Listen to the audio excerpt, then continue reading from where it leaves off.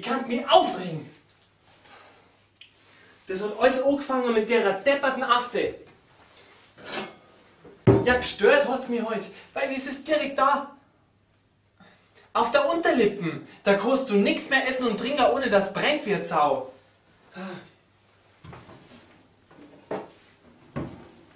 Dann bin ich zu meiner Hausärztin hier gegangen. Zu der Dings, wie heißt jetzt? Ah, zu Hofstädter bin ich hier. Und was war? Im Urlaub war's. Eine Vertretung war da, so eine frisch ausgelernte.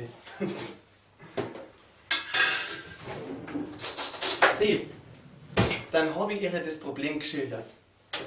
Aber sowas, sowas habe ich auch noch nicht erlebt.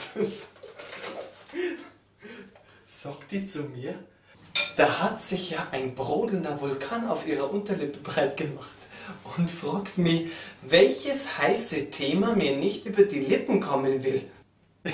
Sie, ich habe schon erst einen Moment überlegt und dann habe ich halt gesagt, ich brauche heute eine Creme oder sowas.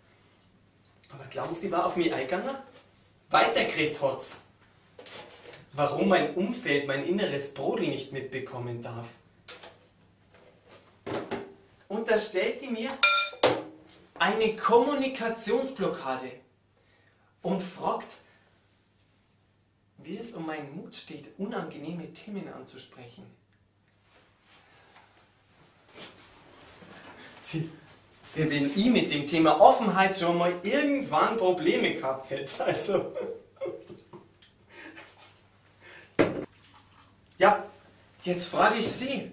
Sehen Sie zwischen einer Hafte im Mund und einer Kommunikationsblockade irgendeinen Zusammenhang? Nicht, gell? Sowas. Also wirklich.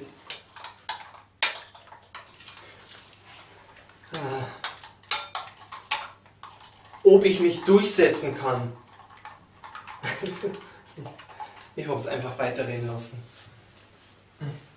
Und dass ich Aggressionen in mich hineinfressen darf, das braucht immer nicht zum Song. Hat Hotz mit so einem frechen Grinsen zu mir hinübergeschaut und gesagt, ich wäre der Typ Mensch, der sich lieber selber beißt, anstatt andere mit einer unangenehmen Wahrheit zu konfrontieren. Sie, das habe ich mir dann aber nimmer gefallen lassen.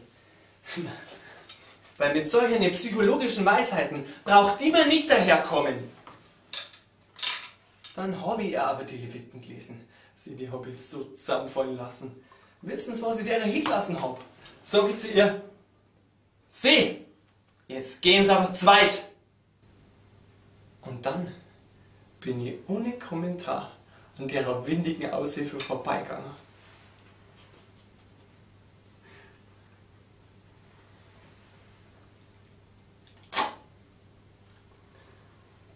wie er aus der Tür draußen war, da habe ich mir aus Versehen nochmal drauf bissen.